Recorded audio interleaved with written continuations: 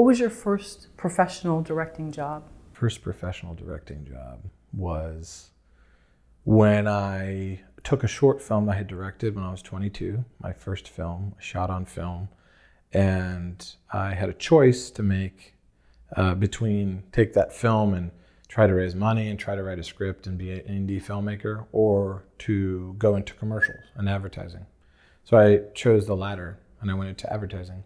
Like some of my heroes, Ridley Scott, Tarsem, Tony Scott, David Fincher. Um, so I took that film into several ad agencies and was offered a job right away. And um, and then they said, "We want you to shoot something on spec for us because shooting your own film and shooting a commercial is completely different when it comes to parameters for time and budget and so forth."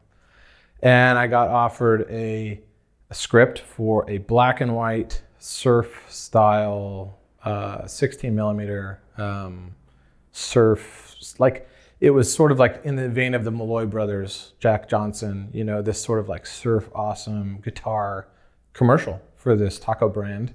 And um, so I shot it on film, shot it on black and white reversal, uh, which they didn't want me to do. They wanted me to shoot on color. They wanted to do change the color in the DI, and I insisted on black and white reversal. And uh, we shot it, and the client loved it. It was a look they didn't anticipate. Had kind of a, it had kind of a, a an endless summer style to it, but it was very, very, very high contrast. So it felt very portrait-esque with these beautiful people eating burritos. Oh wow, that's and always so, fun to watch. And they really dug it, and uh, so I, I, got known as the guy who was a little analog. You know, that was like right when Red uh, camera was taking off and I kept pushing analog the whole time. I kept wanting to shoot on film um, because we were gonna be seeing everything in digital. Uh, I wanted to go the other way so that when you saw uh, my work or the work of that agency, that it would pop, you know, come out at people. So yeah. You said you were 22. 22. Yeah. So this was in the Washington area, or yeah, uh, yeah. I shopped my reel, which was a five-minute uh, boxing prize fighter um, short film called In the Corner, which no one will ever get to see. Uh, I shopped it around Seattle and Portland um, and a couple of other small markets.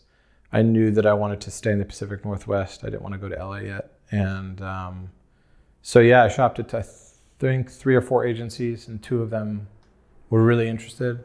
And then I went with the one that had the biggest accounts because I wanted to work on big commercials from day one. Yeah, 22. How does a 22 year old convince an ad agency executive to use film and, and do it sort of more his right. way? I, I did a lot of homework before my first meetings. So, those pitch meetings, uh, which took some time to get, um, I called around and I figured out who the creative directors were.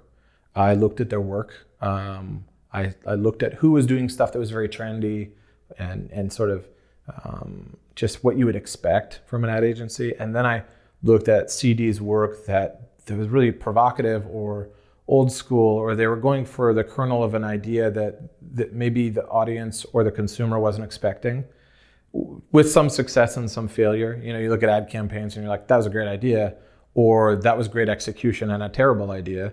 And um, so I was really looking for agencies that did really interesting stuff. And fortunately, the, the creative director that I worked with, um, or create, chief creative officer, because he was the honcho, he had a passion for film. And he had a passion for Errol Morris, and he had a passion for uh, Scorsese. And um, he liked these eccentric pictures that other people would never know. And I knew what they were. And um, so when I sat down with this particular individual and I showed him my film, he said, Oh, you shot on 16. I said, No, I shot on Super 16. And I started talking about film stocks. And he knew some of that, but he didn't know all of it. But he was turned on because he was like, This kid, which I was a kid, um, wants to be, um, he wants to go after things like a filmmaker, not like, um, not like a copywriter or whatnot. And um, so we ended up uh, talking about films like The Last Waltz, right? Or um, Uh, Endless Summer came up, of course. Tokyo Olympiad, which is a really awesome Criterion documentary about um, the Tokyo Olympics, where they, I think it's like 10 or 12 filmmakers, they hired different filmmakers, and each filmmaker shot different events differently. So some shot video, some shot 8 mil, some shot 35 millimeter, and then they cut it all together in a documentary. That, that actually was primary topic of our first interview.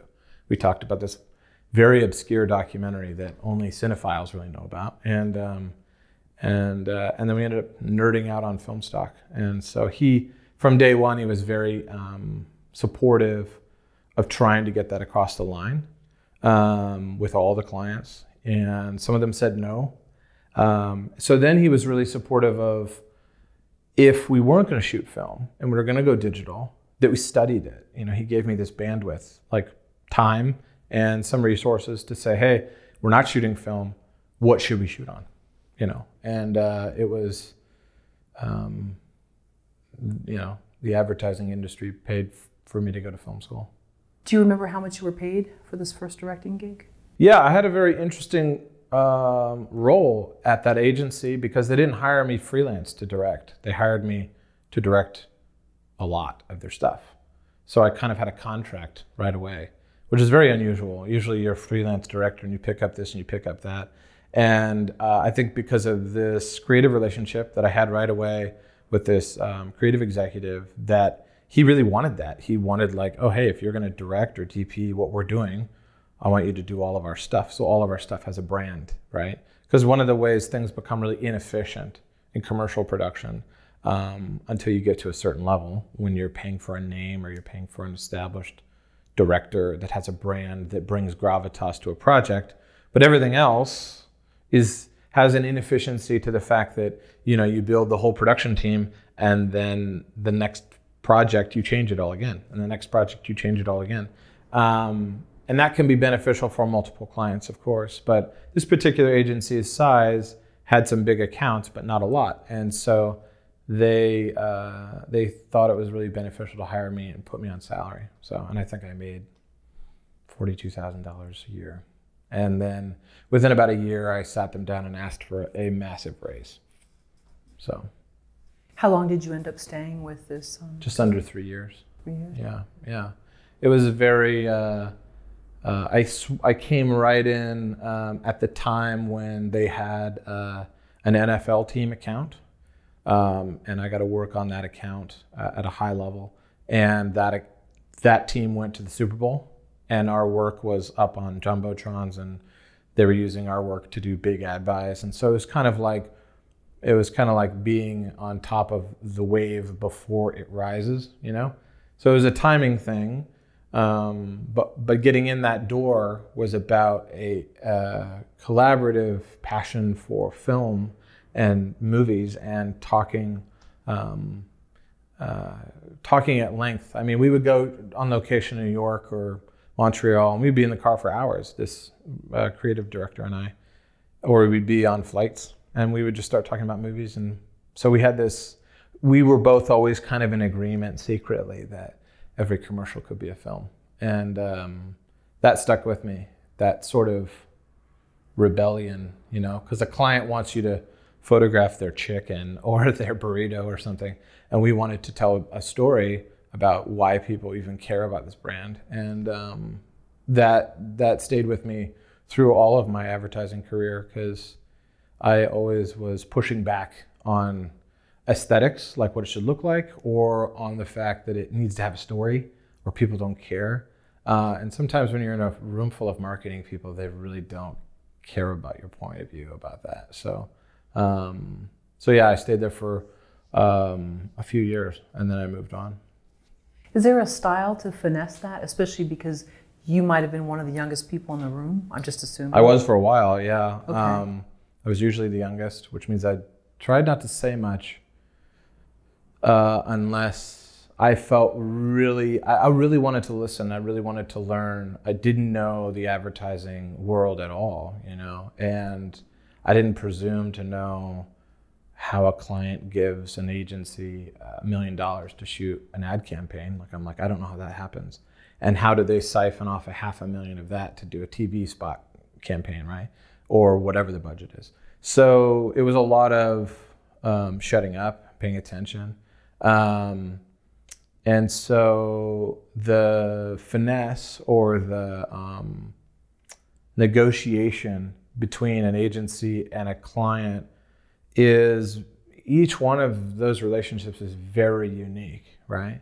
Because you have some clients who will talk to the creative team at an agency and they'll say, We trust you, go for it, right? That's an optimal situation. And then you'll have a pessimistic situation, which is a client that's like, We need close ups of the mop or the chicken or the sport cleat or whatever it is. And you'll say, Well, who's, you know, who's holding the burrito? Where are they? And how did they get there? And why are they there? And that's the story of that ad, right? And there are some clients that are um, not interested. Not interested. They're interested in thinking that the reason why people buy things is because they're robots, and they're not. People buy things because they decided to accept your invitation. So, and I think advertising is an invitation. You can make an invitation for people. And a lot of people, um, I mean, advertising shifted a lot since I was 22. Um, and it's very, there's a lot of things overall in the market that are way more beautiful, or the production value of things is better. Um, but the storytelling is the same. It's still very A to Z. On one side, you have a, a absolutely excellent storytelling that happens to be about a brand, right? And then on the other end, you have like, um, you know, a detergent ad that's just telling you how clean your socks are going to be. So, yeah, I don't know much about the nuance of actually convincing someone to want to shoot my idea. Like, I, I actually don't know how to do it exactly. I think what I learned over time was you get to know the client really well and you work on their trust. And they'll trust you more and more. And then if something's not successful, you'll figure that out and they'll say, hey, your big idea didn't work. And I've had really big advertising ideas that didn't work.